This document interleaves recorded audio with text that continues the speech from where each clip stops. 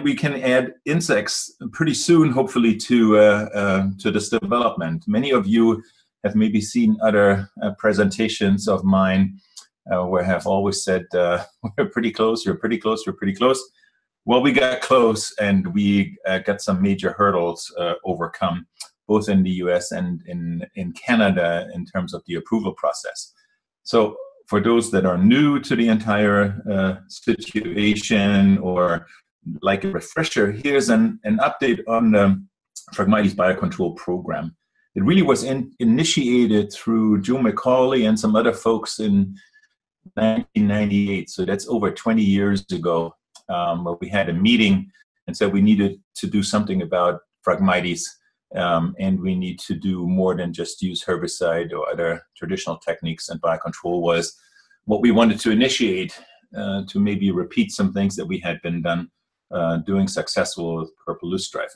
And the people that, uh, or the organizations that were initially um, part of this uh, was here, Cornell University through my program, the University of Rhode Island uh, through uh, Dick Casagrande and Lisa Tewksbury, and then CABI uh, Bioscience located in Switzerland in Europe, where much of the overseas work was done.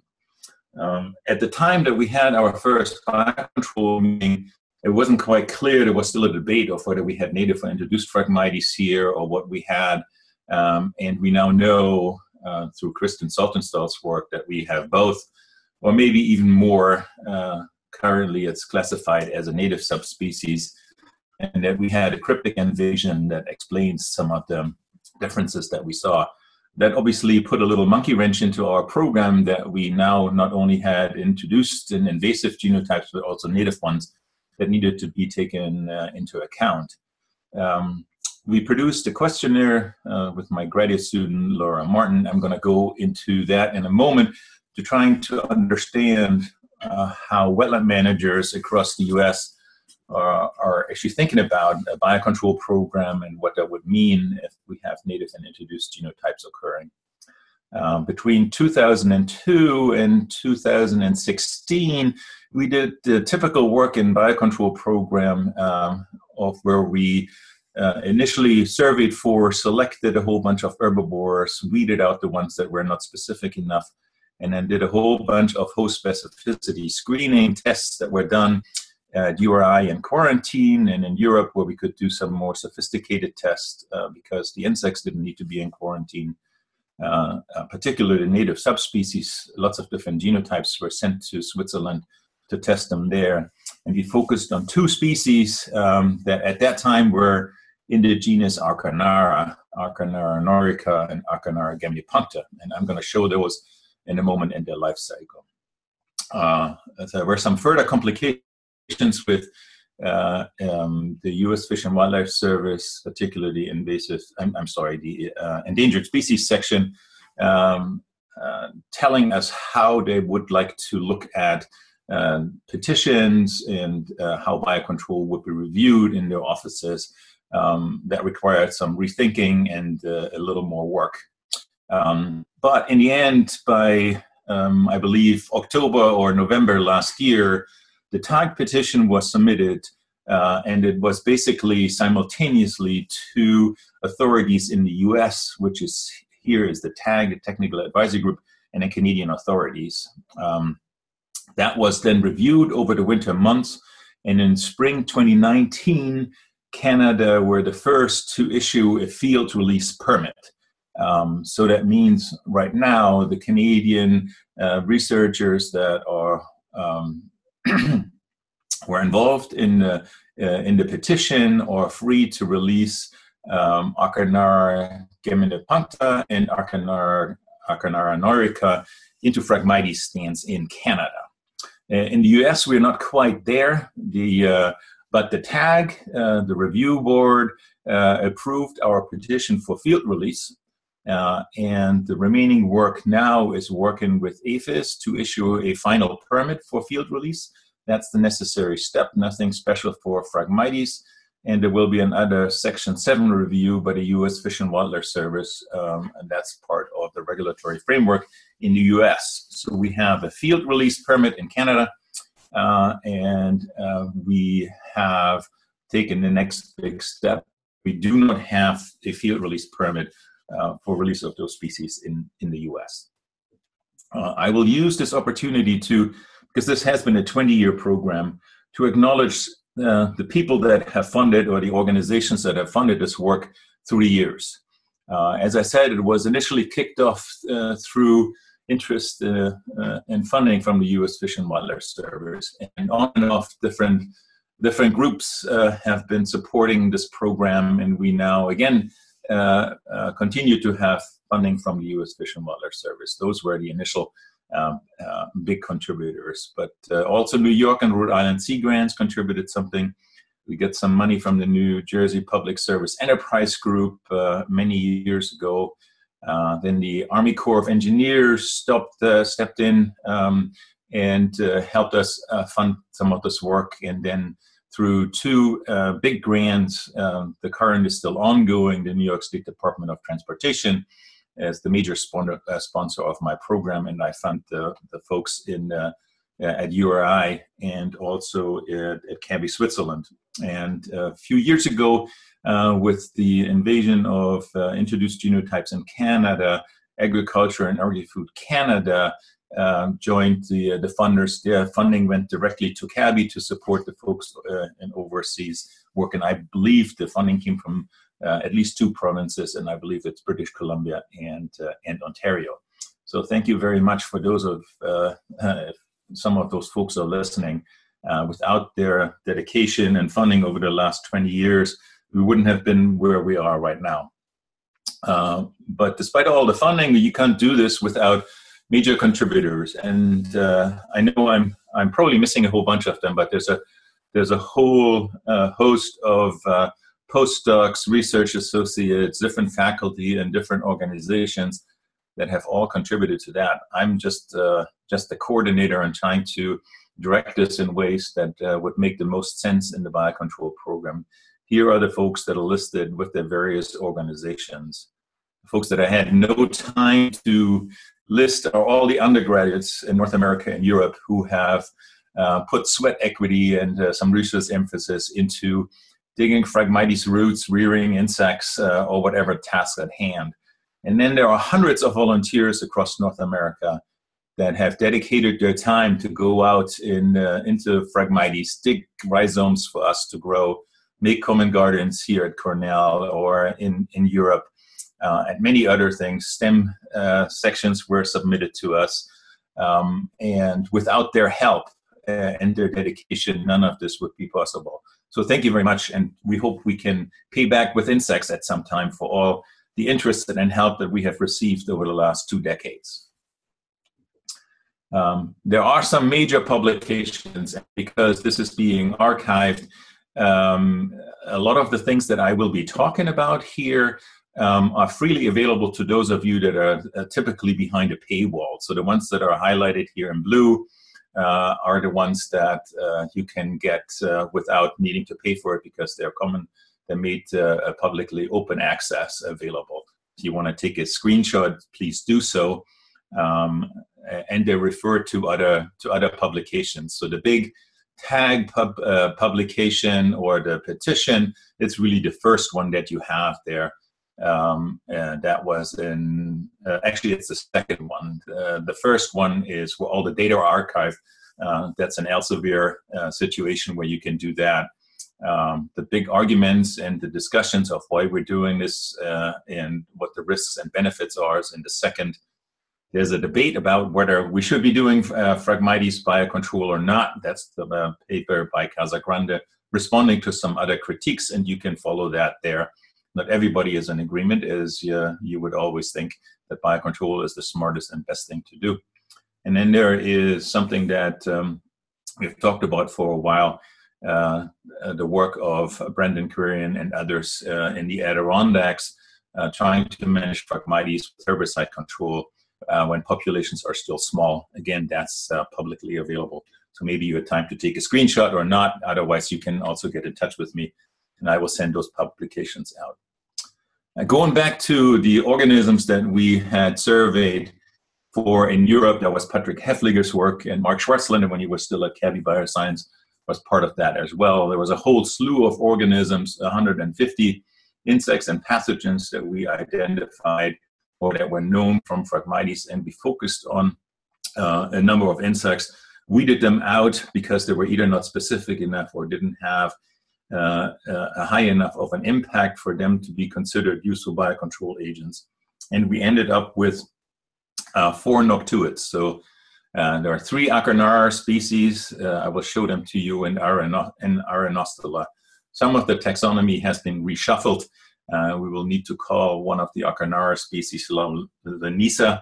Uh, we don't necessarily agree with that from the ecological point of view, but that's the, the latest taxonomy that we will now um, uh, take on. Excuse me. Um, so here's the first one, um, and this is the most widespread. Uh, it's Archanara geminipuncta. Uh, the second species, um, or now Lenisa geminipuncta. Uh, Archanara neurica was not uh, changed to a different genus. Um, basically, they look very, very similar, even for the trained eye. They have the same life cycle uh, with eggs overwintering, uh, larvae uh, starting to eat as soon as shoots are emerging, pupating in the stems, adults flying in midsummer, and they do damage. Um, and that's why we selected these organisms. They were not only widespread, um, but they were known to have some serious uh, implications on Phragmites populations in Europe. Um, here's just the depiction, depiction of the life cycle. Uh, they need to change shoots. Uh, depending on which species, they need to do this multiple times. So they can't develop, complete their development in their in the first stem that they attack. Uh, they actually enter, go up, they kill the growing point, and then they feed on the decaying tissue in the top of the shoots. Uh, so depending at what time they're actually attacking the Phragmites shoots, they are at different heights um, uh, because the plant obviously grows. Uh, once the the um, the growing point is attacked, there's obviously no more growth, and that growth stops. Uh, so um, the um, uh, and the as I said, uh, the, the pupation also occurs in a shoot, but that one would be unatta- uh, would not the growing point would not be attacked. so of course closer to the ground. Um, here are the larvae of the four species. Right now, we focused on the ones that were most easily reared and the most widespread, which was Archanara or Lenisa geminipuncta and Archanara neurica. Uh, we can distinguish the larvae, we can distinguish the eggs, we can distinguish the adults. That's all reasonably uh, reasonably easy. You will hear me talking most about Archanara because I don't have incorporated the name Lenisa in my vocabulary, so but that's what I meant.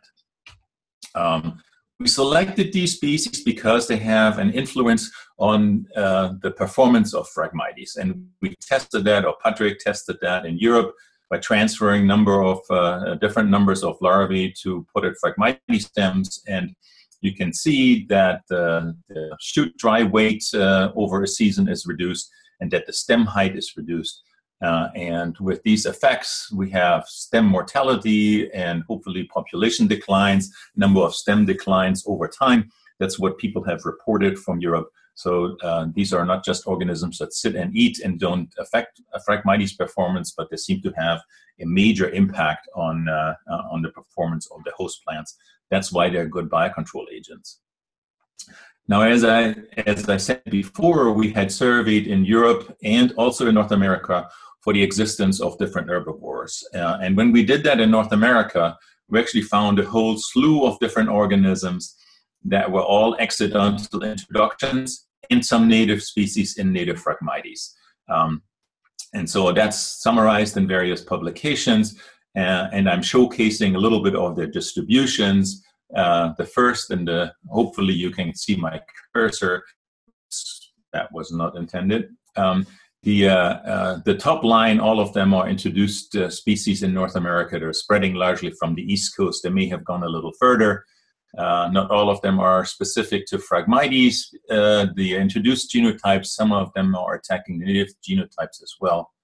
Um, the lowest, the lowest level, the three species to the right, uh, tetramesa triptychus are very widespread. Tetramesa may in fact be two different species because we find it in native and introduced Phragmites. Maybe there's a native Tetramesa, they're grass specialists. That's why their distribution is so widespread. Um, we very often do not see evidence of their attack because they are stem, uh, stem miners and basically don't attack or don't affect the performance of native or introduced Phragmites. So there is habitat, there is life in Phragmites, native or introduced in North America. It's not totally devoid of it. There are other uh, organisms that eat, eat the leaves.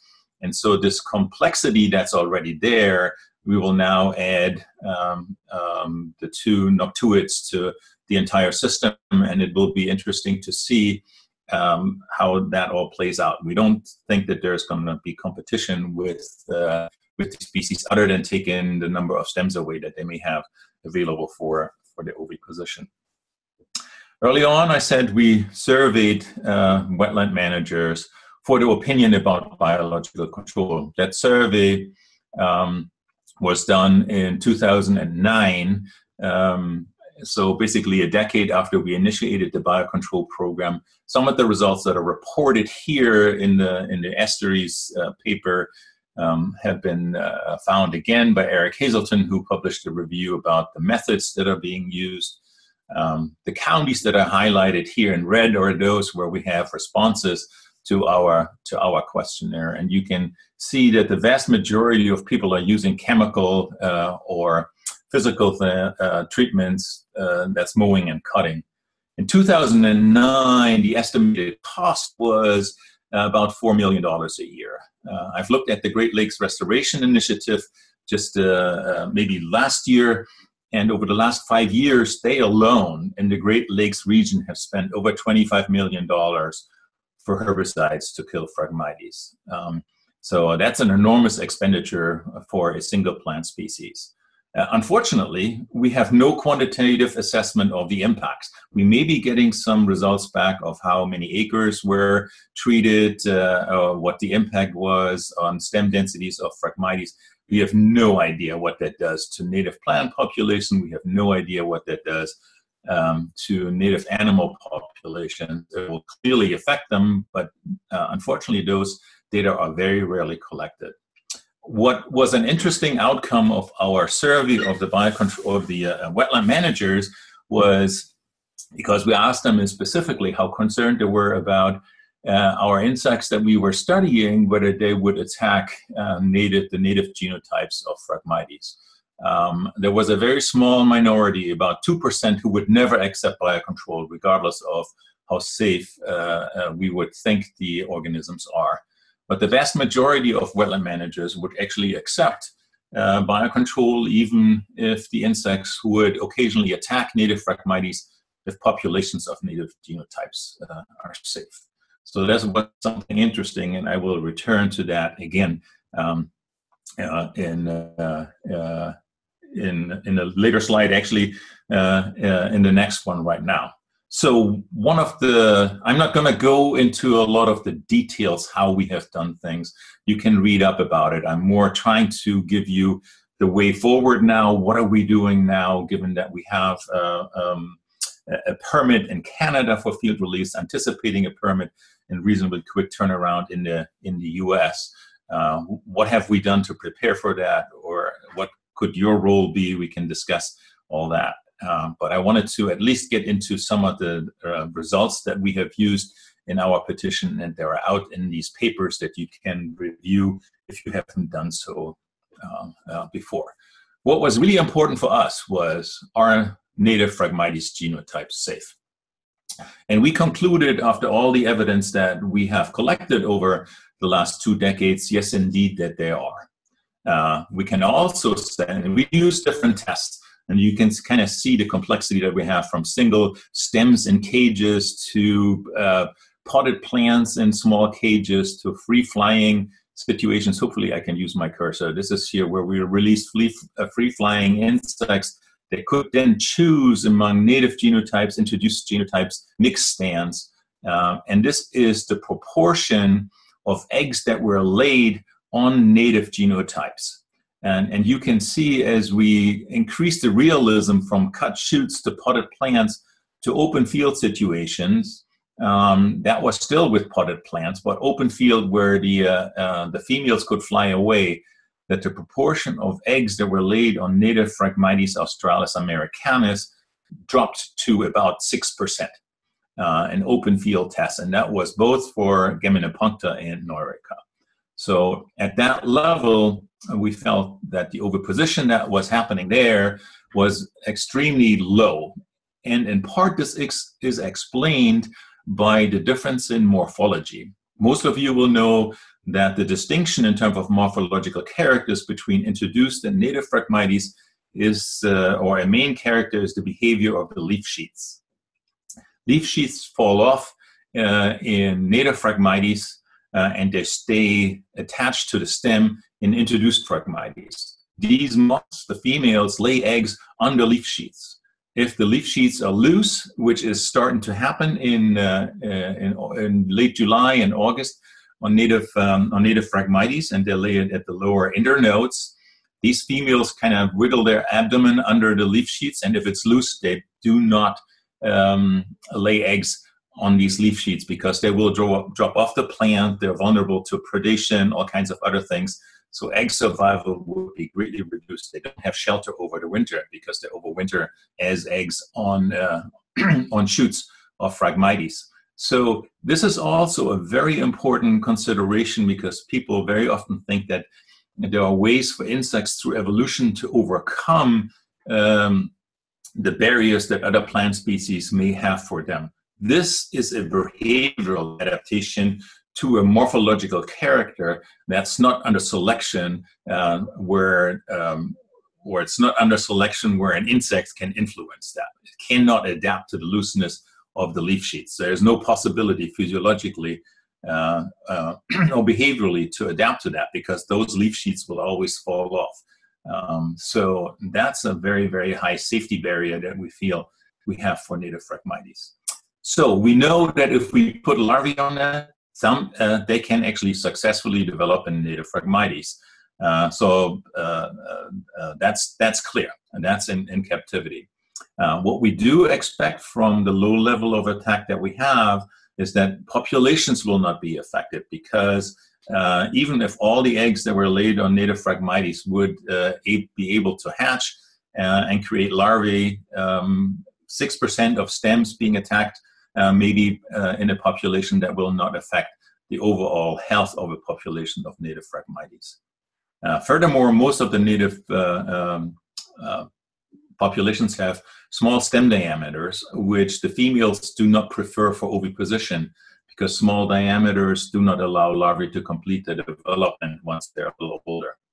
Um, then larval foraging is limited. They have very low foraging distances. Most of the native populations, particularly out in the east, have very low stem densities. Um, it's not always the case, but if the larvae have to go from one stem to the next to find um, a new stem to attack, the low stem densities that native Phragmites typically has will limit the ability of larvae to find uh, um, a, new a new stem after they have exhausted the resources and the ones they had attacked.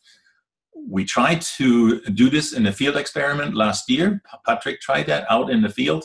Unfortunately, he got some late frost and all the, uh, the larvae were killed. Uh, he's repeating that this year, so hopefully we have some more information about foraging distance, selection of the larvae and, native uh, Phragmites uh, compared to introduced uh, uh, Phragmites. So overall, our assessment here uh, is that native genotypes, uh, particularly at the population level, appear safe. Not safe from attack, but safe at the population level. Um, so. Um, a big debate, and I don't know how widespread the distribution is of people that are on this call, is um, the situation uh, of Phragmites in the Mississippi Delta. Uh, what people are suffering from in the Mississippi Delta is a decline of what they call roseau cane. And that's Phragmites australis. There is no native Phragmites that far south uh, in, uh, in North America. They have a mix of different European, African genotypes. There's some morphological differences, and then they have what's called the Gulf Coast genotype. Uh, a few years ago, um, a uh, Japanese scale was discovered. Uh, it's, it's Nipponaclerda biwakoensis. Um, this is the picture of the uh, adults that sit under the leaf sheaths over winter there. Um, and the reports from the Mississippi Delta are massive abundance declines uh, of Phragmites. Don't get your hopes up um, for introducing that further north. There is no permit for that. Nobody is studying that. I have some questions whether the scale is actually responsible for the decline of uh, Phragmites in the Mississippi Delta. Um, and what you see here on the left side is the heaviest infestations and the most massive declines uh, of Phragmites. Um, and that's right at the mouth of the, uh, of the, the channel um, that was created to dump sediments if they still come down the Mississippi River, river way far out into, into the Gulf. So the declines are happening where uh, the highest salinity levels are. The problem that people have with the decline of an introduced species in the Mississippi Delta is that it's a lot, it's loss of wetland habitat. Uh, Phragmites is really effective at sediment trapping, so maybe uh, raising the marsh surface, surface a little bit. Uh, and you get a transition to open water, and that's considered loss of uh, valuable wetland habitat for birds and all kinds of other species. As you can see here on the right side, um, so Phragmites may be suppressed, there's an open water transition, but there are other species that still grow there. Um, so my question that I have, while I, I recognize the loss, I never think that an introduced species is a great uh, solution uh, for this, particular with the problems that it creates in, in other parts of the country, even in Louisiana. Phragmites is not a solution in my, uh, um, in, in my opinion. One is that low salinity is the low salinity tolerance of Phragmites. The only way that we really have to uh, um, to control Phragmites, and that was done in New Jersey and in Delaware, is uh, uh, full tidal inundation with full with full strength seawater. That really effectively eliminates Phragmites. Um, and so we have the highest salinity levels uh, where Phragmites is collapsing in the Mississippi uh, River Delta. Uh, what it's the scale or where it's a combination of scale and salinity encroachment. I do not know the um, the experiments haven't been done that way, but it's kind of looks very symptomatic to me. And then the problem of in the Mississippi Delta is not uh, uh, that Phragmites binds the sediments and increases the marsh surface. It's the sea level rise, so climate change, and the sinking of the delta. Um, the sinking of the delta, uh, we don't know exactly what it happens, but it's in part um, uh, clearly associated with the loss of sediments that are now trapped behind behind dams uh, in the Mississippi River, and you don't have the replenishment with uh, with fresh water uh, in in the delta as well. So, um, will biocontrol affect Phragmites declines in the Mississippi Delta? Uh, the answer here is that I now have laid out the problem that people face there. The answer is no. Uh, why do we know that? Because we did some uh, climate simulations. The moths that we are introducing or hoping to introduce into the US and will be introduced to Canada are temperate species in, in Europe in their home range. So the climate uh, in the home range, and I can maybe point this out, and they are basically distributed in this area. Uh, so that central Western Europe, uh, maybe going uh, uh, not quite into Russia, going a little bit into into Scandinavia. So um, that's the home range, uh, or it's a native distribution in Europe. So we were wondering whether they would actually be able to survive under uh, U.S. climates uh, along the Gulf Coast. So we did uh, we did some uh, climate simulations in a growth chamber and used eggs as the example because they have to hang out for many months uh, when it is really hot in in Louisiana and in Florida and other places. Um, and while it's very different in, in Central Europe. So we put them in growth chambers uh, with uh, uh, simulating the conditions as they were developing in Europe and in, uh, in Louisiana or in Florida. And the egg hatch success is 60 to 90 percent uh, if you give them Central European climate. If you give them uh, Southern US climates, the hatch success is zero. Uh, we're not entirely sure what the uh, what the mechanism is, whether they're drying out, even though we had moisture with that, whether they don't get a cold period, or whether it's just too hot for them to survive that. Uh, we did this uh, at least two different years and in two different locations, and it's the same. So uh, even if a moth would fly uh, from somewhere where it, it hatched down to Louisiana or hitch a ride, and it will it would lay eggs there, um, because that can can always happen that insects are being transported um, by by human carriers, um, involuntary carriers. I'm saying here um, so in vehicles or others, um, there will not be able to establish populations in the southern U.S. That's unfortunately for a lot of people. If the, our biocontrol uh, is successful for those folks in the southern areas that are increasingly getting Phragmites populations. So if you go to the lower right here, we kind of uh, loosely estimated the distribution that we are expecting of the two insects uh, if they were to release. Uh, some people ask us to do CLIMEX modeling, uh, to which I respond, CLIMEX models uh, only use climate variables. Insect distributions are determined by lots of different factors, not just climate. And when people have uh, tried to um, look at distributions and climate predictions or distribution predictions by CLIMEX, CLIMEX is not very good at doing that. Basically, it sucks. Uh, so uh, it gives you data, but they are not reliable. Maybe we're more reliable by just having best guesses. So we're thinking that somewhere in central Canada to maybe the Carolinas, uh, this is the uh, the habitat and the climate zones where those species, uh, Archanara, Geminipuncta, and Neurica, um, will be able to uh, to establish populations. That may totally depend on latitude, different winters, and others. Um, but that's the distribution of native Phragmites. This is the distribution of introduced Phragmites. You can kind of see that. It's not everywhere yet. Uh, and that's the distribution of the Gulf Coast variety or type, type I. Uh, so uh, Phragmites will not, oh, I'm sorry, uh, the moth species will not overlap with type I uh, populations. They are safe as well through their uh, because of their different stem morphology. It will not be attacked there. So um, no chance for successful Phragmites biocontrol with these organisms further south. Uh, but it also means that the problem in the Mississippi Delta uh, will be needing to be discussed and resolved in different ways. I hope they would do restoration with native species because we have some some wonderful native species that could uh, take over what Phragmites uh, may be able to, to do there uh, with the sinking of the marshes.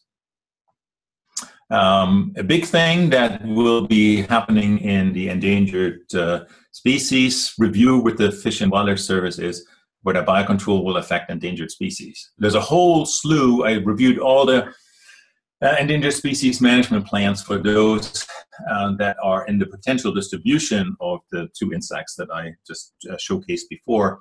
There's a lot of different species, uh, from birds to insects uh, that are affected by encroachment of introduced Phragmites. So the impacts that we are expecting are beneficial. Um, there are no endangered species that are being attacked by these organisms, uh, or even if Phragmites would disappear, uh, there are no uh, species that are depending on Phragmites, endangered or otherwise. They have alternatives. So we expect that the review in the Fish and Wildlife Service will uh, should go uh, reasonably smoothly. We never know, uh, but that is our expectations right now. Expectation right now. Um, a big concern was always food web effects, right? You bring in organisms that will kill plants, that will create detritus. The organisms themselves can be uh, uh, food for other organisms. Um, right now, we have uh, uh we're proposing to add two species to already a complex food web. I'm not going to go much into detail, but Phragmites is not totally devoid of life, uh, introduced Phragmites. Um, we will not eliminate native Phragmites, and we will not eliminate it if introduced Phragmites. It's very clear. Um, but by not adding biocontrol agents, we may lose uh, native Phragmites because introduced Phragmites is overrunning its distribution. Uh, and there's lots of uh, introduced species, including aphids and their natural enemies that live on Phragmites, and we allow them uh, to thrive, or we continue uh, to do the herbicide campaigns with all kinds of unanticipated and undocumented effects. Uh, we don't know what the food web effects will be. Will bats all of a sudden colonize that? Uh, Phragmites habitat? Will uh, native birds know where uh, these larvae are, uh, are, are hanging out? In Europe, we have specialist marsh birds that go after them. over time, there will be some shifts here. I'm sure that some woodpeckers and others will appreciate a little morsel that's sitting in Phragmites. Over time, they will learn that. Um, uh, we will need to uh, do some of these in- investigations, and we need to find some funding for that. Um, but largely, it's unknown, but it's uh, uh, anticipated that these are uh, largely beneficial effects that we that we will be seeing. Um, so, what we have in front of us uh, that's the work program of the next few years, decade or so. Uh, we will need to mass, mass produce these, and I'm going to go into that in a detail. So I'm talking about the noctuids. You may even think about adding species to our research uh, uh, program, but I will hold off on that, uh, going back to Europe and studying more insects for the time being.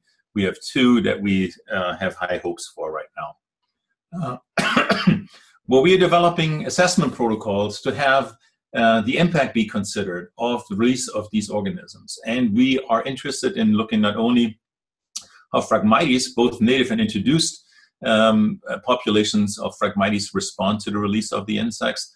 Ultimately, we do Phragmites control because we are thinking that many taxa uh, are negatively affected by the expansion of introduced Phragmites. So we will try to do, um, look at assessment protocols for many taxa, and that means that we need to have many different methods. And I will show you some that we are experimenting with at the present time. Ultimately, we, uh, we uh, we're interested in the demography. And I'm going to talk about what that means, demography, uh, and in the spread of uh, the potential spread of, uh, of introduced Phragmites. Um, when I talk about distribution, uh, that's at least for the, um, the plan in the US. Uh, after we receive approval from the from the from APHIS to release them, we need to distribute these organisms. I assume that there's a whole bunch of people that want them, uh, initially, we'll do uh, releases here in New York, and the Canadians have their authority where they where they're going to release, um, and we'll try to study them. Um, they're always in very short supply early on, and hopefully within a few years we will be able to uh, devise methods to have other people participate uh, in the, in the release programs. And I know that very often once insects become available, more funding will become available. Uh, our role here is uh, working closely with our uh, Canadian um, partners and other people uh, in the US, trying to share the information. This webinar is part of that. We need to do training uh, and we need to do the assessments, and hopefully we have them standardized so people are, uh, it's a little easier for them to participate. And yes, we will need more dollars and we will need to have more publications and more outreach. But that's kind of the work program that's in front of uh, front of us. We have started a bunch of these things, and I'm going to show you a few just to uh, uh, you know tease tease your appetite. Or uh, typically, in the way that the rearing happens, is a lot of handwork um, because it's really difficult of finding them in the field.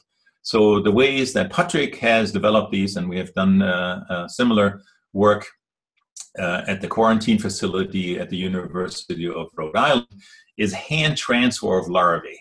Uh, meaning you have cut shoots, you insert the larvae, they find the place where they want to eat, and then once they come out of the stem, needing to go to a new stem, you hand transfer them again.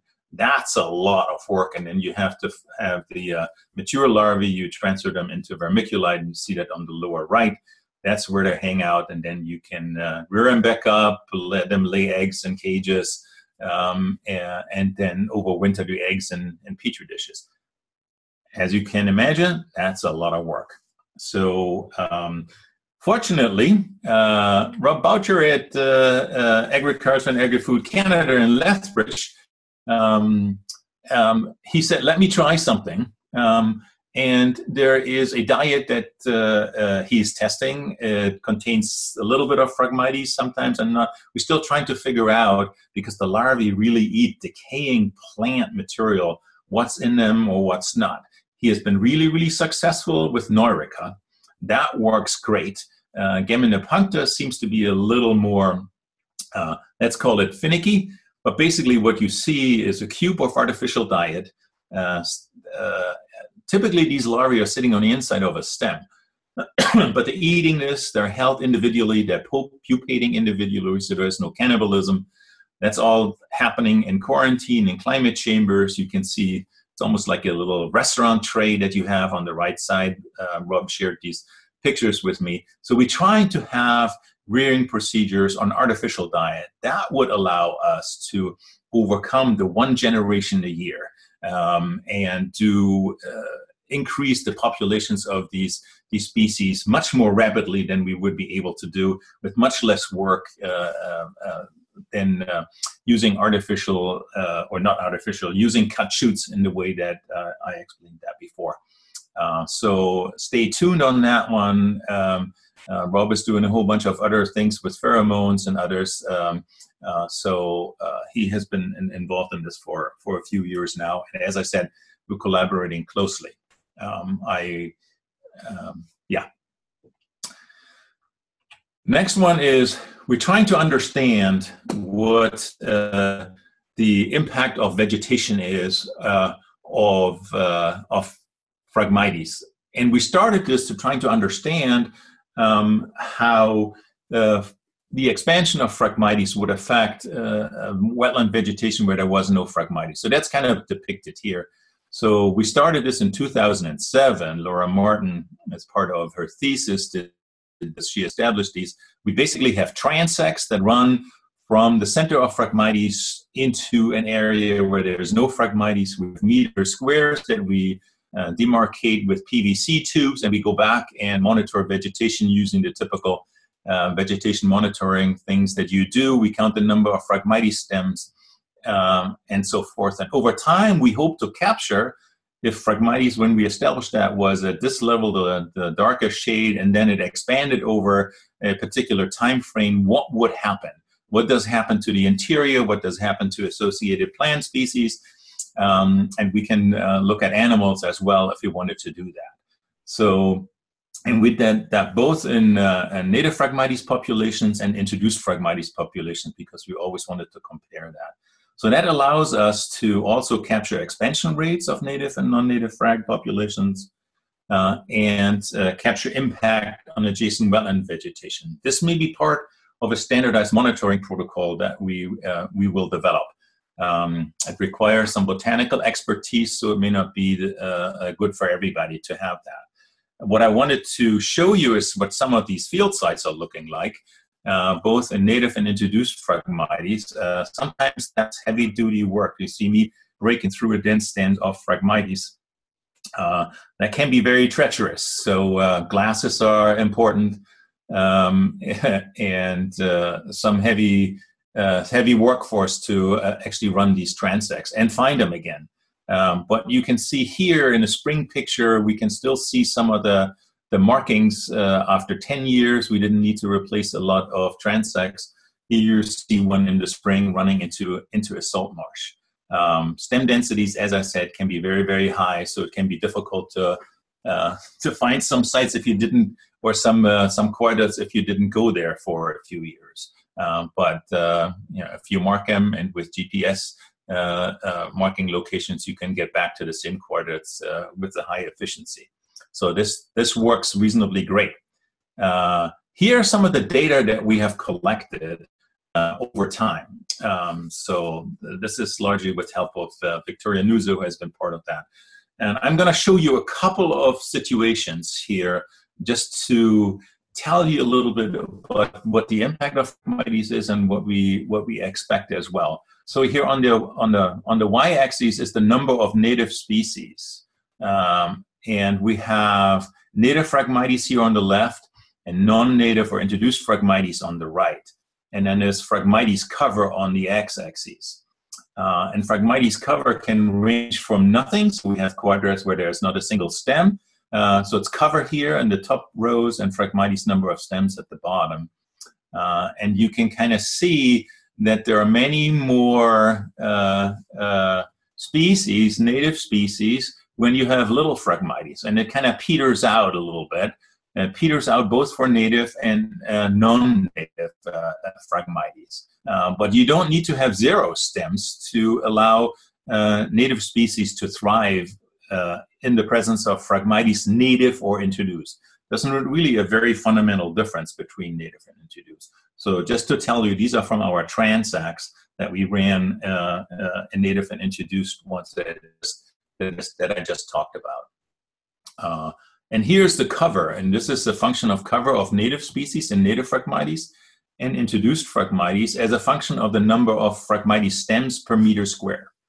And you can see as you get to high stem densities, even natives get sometimes high densities, high densities, the cover of native plant species goes down and it goes down dramatically.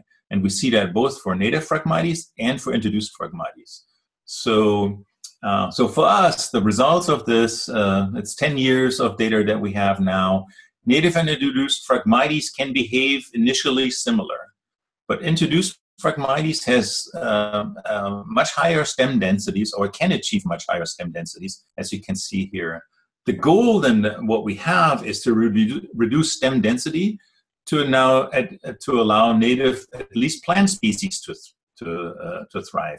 Low stem densities of Phragmites are just fine in parentheses for native plants because we see that. So then the goal for a biocontrol program is not eradication of Phragmites, but a reduction in stem density.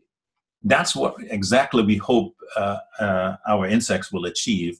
So that allows then uh, those habitats that are now invaded by dense populations of introduced Phragmites to function again as, as habitat for native plant species um, and, uh, and native animals. So this is the power of an approach like that. We wanted to use demographic monitoring for this. So this is Stacy Endriss, Endriss' work. And we wanted to understand how our insects would affect how fast uh, plants uh, spread, how tall they grow, what the fecundity is. We use demographic monitoring uh, or modeling on that one. And I'm going to show you what we mean by that. So uh, with a lot of help from uh, students, lots of lots of dirt um, uh, and establishing experimental trenches here, uh, Stacy is looking at the number of shoots, the expansion rates. We can do this above and below ground.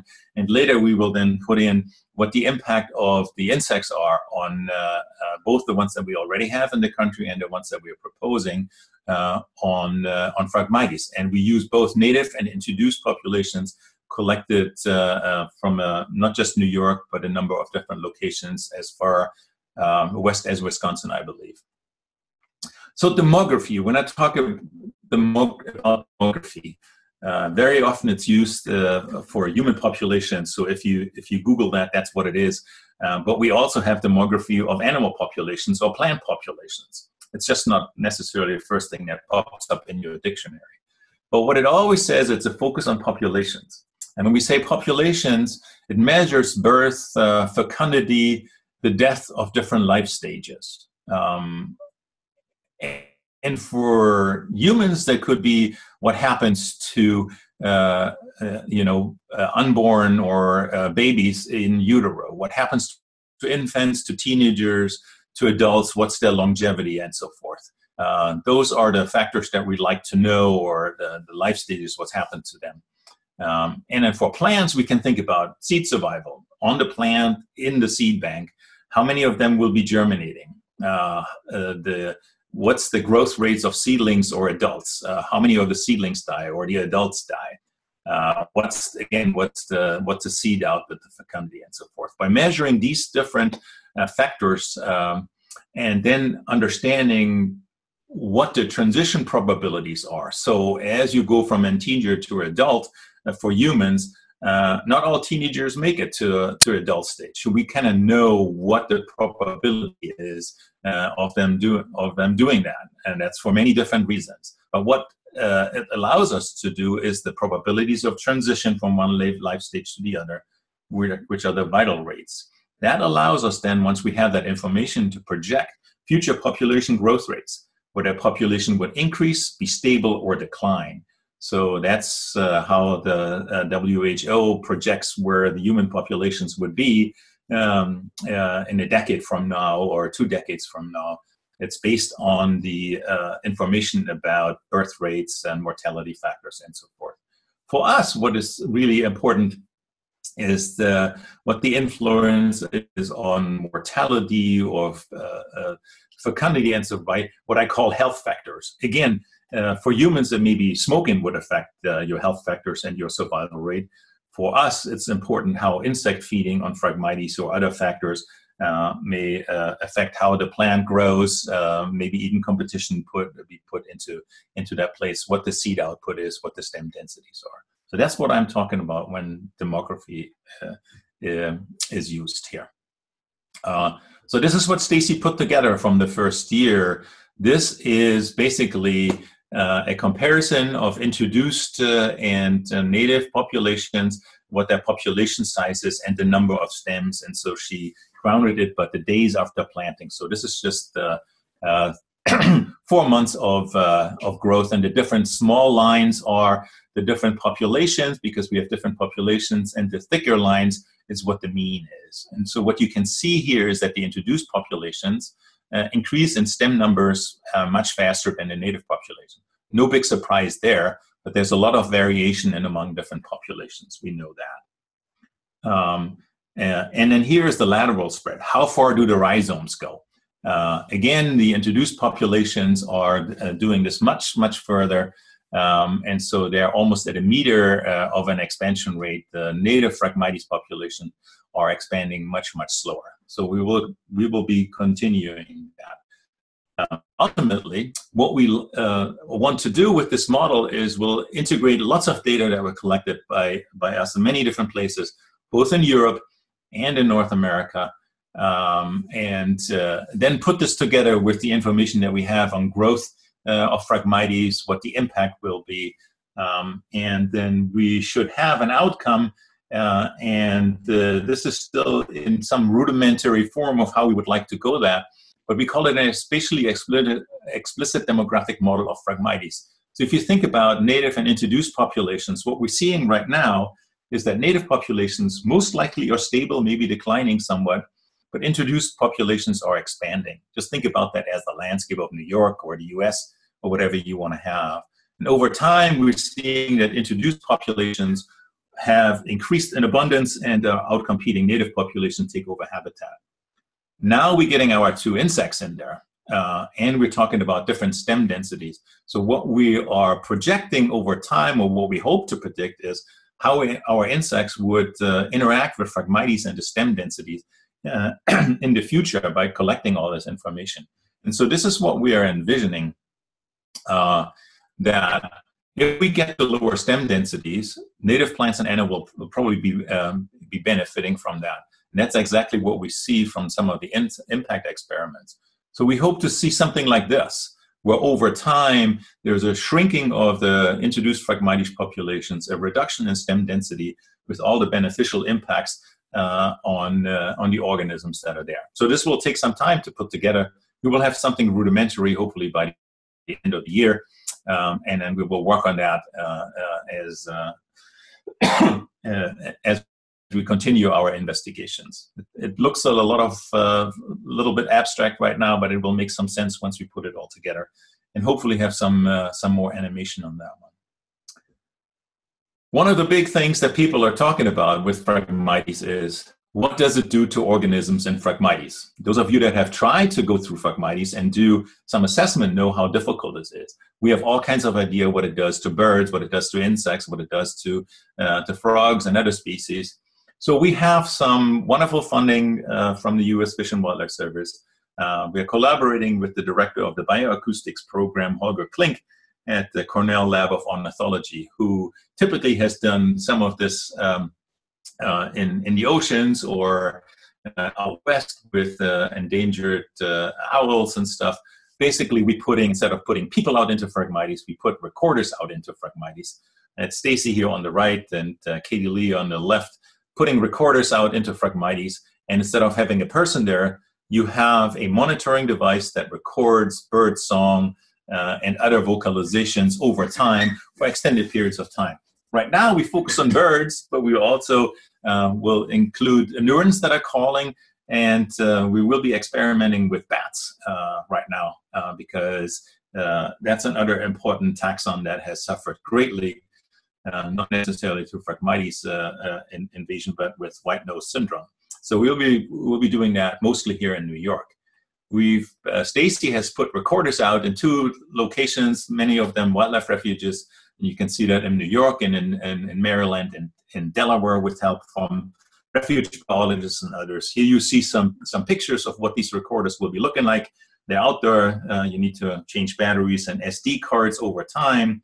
Um, but they will be recording without a human present uh, uh, recorder or uh, um, or uh, ornithologist present, and it will do this uh, day and night. Um, we've done it with some help uh, further out uh, south with uh, Robert Meadows, who has long worked in Phragmites. We have some native Phragmites population, some introduced uh, Phragmites population. Matt Whitbeck at Blackwater National Wildlife Refuge, where we do um, native Phragmites. I'm sorry, um, native wetland populations uh, and also Phragmites populations and trying to compare and contrast that. So what we're typically getting, and so I'm gonna uh, do a little music here for you, is this is the uh, Phragmites soundscape uh, in an introduced Phragmites stance uh, in Savannah, New York.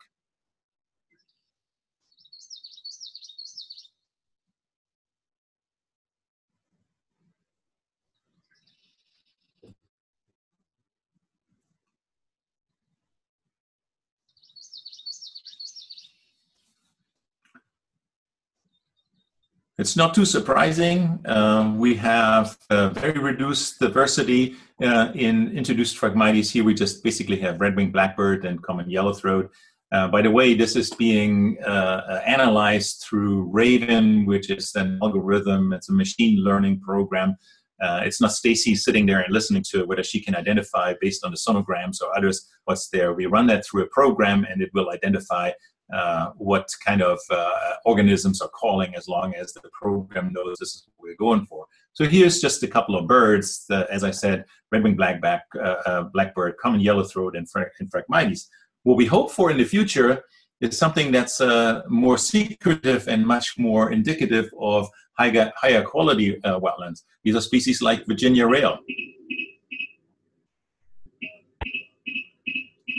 And we will be able to identify that uh, from the recordings. Right now, you need to send people out uh, and do callback surveys to listen for that. And uh, uh particularly these rails and bitterns are very secretive uh, in tall vegetation.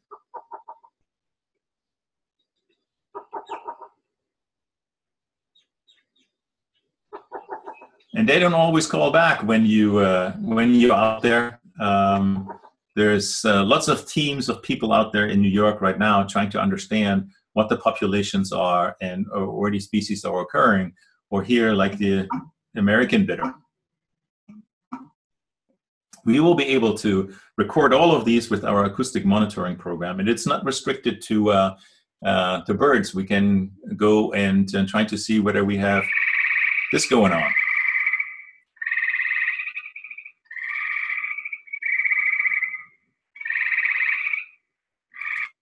Many of the frog populations or of the frog calls are relatively easy to identify and maybe allows us to do, do some abundance. So this is the work that, as I said, is funded by the Fish and Wildlife Service right now.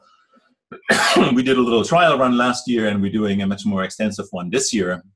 And hopefully this is something that we can then deploy uh, where lots of people can uh, uh, buy recorders. They're, they're reasonably cheap. They're not thousands of dollars. They're uh, maybe only a couple of hundred dollars, where you can actually go out and uh, deploy these recorders and uh, you can archive uh, the material, have it analyzed, so we get some understanding of what Phragmites, what the soundscape and species were in Phragmites, then with our insects that are being released, and hopefully a return to, uh, to, to, better wetland conditions, or you can assess how this is happening when you do spraying campaigns. It was a wonderful method of capturing uh, over extended periods of time what's happening in your habitats.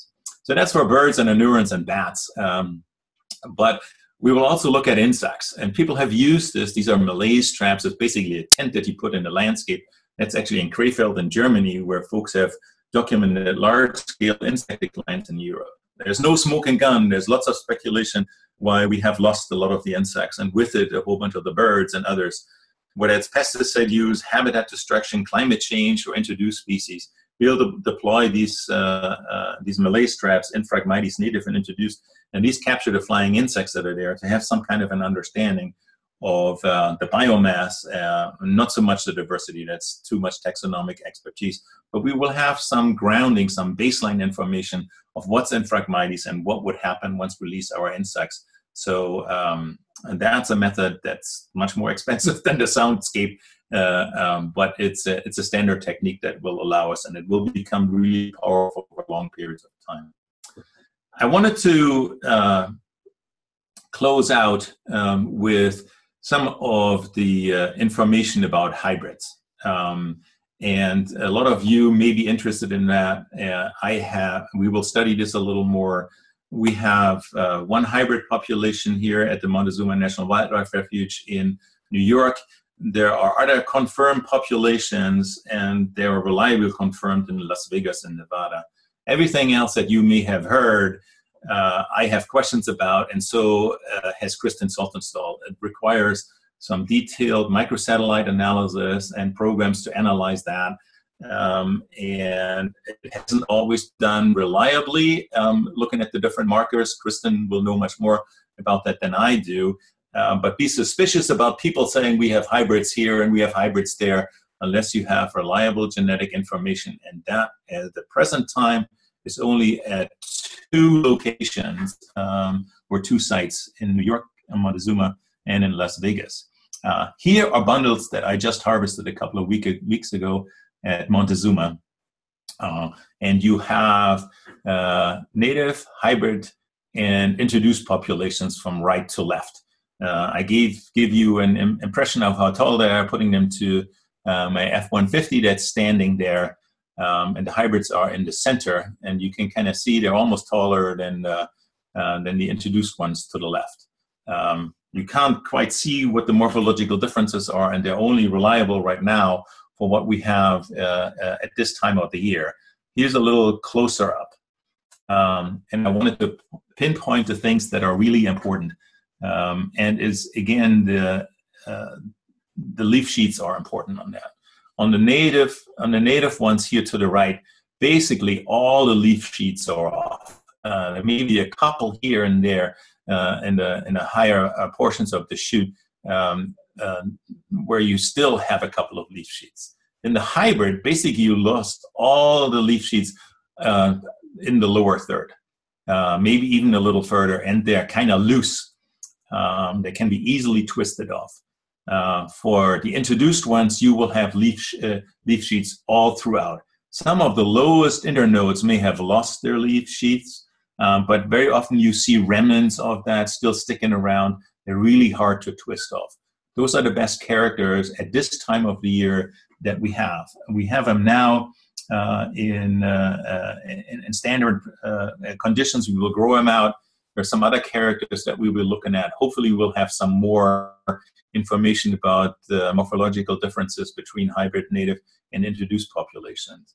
Uh, what you can't quite see is of the stem gloss uh, differences, where they are really dull in the introduced one, somewhat intermediate, as you would expect on a hybrid, and really still shiny and glossy on the right one. Uh, and there is uh, a little brown tint to uh, both the uh, the native ones and the hybrid ones. So we'll work more on that one, um, but if you don't see these differences having lost a lot of the leaf sheaths um, and you think um, that i'm sorry let me start it again so if you have populations where you have lost some leaf sheaths don't think that you have a hybrid uh, you have to lose substantial amounts or substantial numbers of leaf sheaths before i would consider hey maybe we should do a genetic analysis on this one this was just uh, throwing it because I see a lot of people wondering about hybrids that they have in their, uh, uh, in their habitats. I'm happy to look at stem samples that you want to send me. Um, uh, lots of people have done that. So what's the outlook? Uh, releases are pending. Uh, somewhere in, in 2019 or 2020. Uh, definite decisions have not been made, but uh, as it is my understanding that releases will be made in Ontario. Um, hopefully, we'll have a quick turnaround at APHIS and a review with the with Fish and Wildlife Service section section seven, uh, the endangered species section. Um, as we are waiting for that decision, we are continuing to develop release mass production uh, uh, techniques. Uh, we will think about how we will distribute organisms initially locally or regional, and then education systems to allow people to become uh, specialists in uh, in the assessment, in the rearing, other things, similar to what we have done with the purple loosestrife system. Some of you may may remember or even participate in. Uh, a big plug for me is that we need to consider active restoration. Uh, our insects will be able to reduce uh, Phragmites performance, hopefully, um, and stem density, but they can't be the ones that plant native species that have been eliminated uh, due to uh, invasive Phragmites uh, uh, encroachment in areas. So those of you that have local responsibilities need to think about how do you get the native plant species back in the places where you want them. and then we need to assess outcomes uh, and I said we have a standardized protocol in development that we will be sharing with you, and hopefully it will be the same in Canada and the US. Uh, that will become very important in the future. So when I'm thinking about the future management of Phragmites, I have a few proposals for you. Right now, uh, at least in the US, I can't give you biological uh, uh, uh, control, but hopefully I can do it in a, in a very short period of time. many of you will still rely on mechanical or chemical things. Uh, to achieve desired outcome. Uh, the unfortunate thing is that is not very successful. Uh, but you need to know what you want in the in the system in terms of ecosystem function and plant and animal communities. In some places, you may need to bring it back, whether you do biological, mechanical, chemical uh, control. That's important. Uh, I encourage you to measure indicator indicators, not just Phragmites. We're developing that for for our biocontrol program and other places as well. So stay tuned. Um, we need to have the monitoring long term or the assessment. And we need to assess not just Phragmites. Uh, so our uh, work with the uh, uh with the monitor, monitoring of vegetation or the recorders is really important because you can do that long term. Have areas that are not being treated uh, to just understand how Phragmites affects uh, or your control treatment affects that. Reward protection instead of area treated. So for me, that means targeting early and small areas because those are really the only ones uh, that you can effectively reduce given uh, uh, uh, the current limitation of to mechanical and largely chemical methods. If you think you need aerial treatments, it's far too late, and the consequences that you suffer maybe uh, the negative consequences may far outweigh the temporary benefits of reducing populations. We have very little information about that.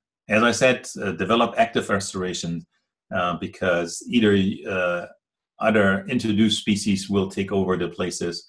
Um, that was the problem that we had with purple loosestrife. We didn't really get the wonderful native plant populations back because we didn't do active restoration. Lesson learned.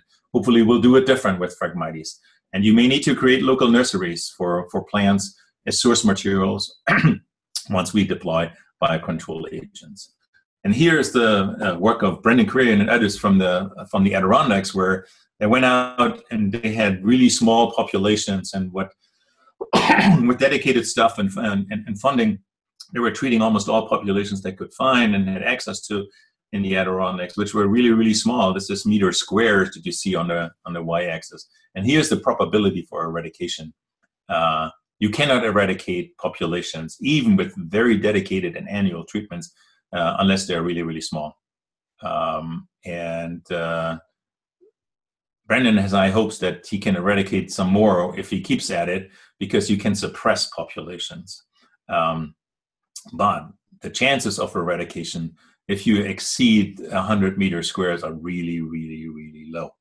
Uh, so that's a sobering news for many of the people that try to do large scale treatments. But treatments can suppress larger populations, but they need to be applied in perpetuity. And as I said before, we have very little uh, idea what that does to non-target organisms. So that's why we're in the biocontrol uh, program, and that's um, um, hopefully what uh, we can uh, um, deploy very shortly. Um, so if I summarize where we are right now, chemical treatments, large, largely undocumented impacts on non-target species, often we don't know. They are ineffective uh, because you have to do it over and over again. Native genotypes disappear. They're overrun by the introduced ones um, if we don't do anything. Biocontrol is not entirely risk-free. I summarized that for you. Uh, but negative impacts, particularly at the population level, uh, have very low probability. I can't give you a guarantee that biocontrol will be successful. Um, we do not know whether we can suppress Phragmites or our insects will be able to uh, suppress Phragmites or whether that will restore habitats. Um, most likely you will have to have a human hand in there of bringing the species back that are desirable. Uh, how quickly will the insects become available?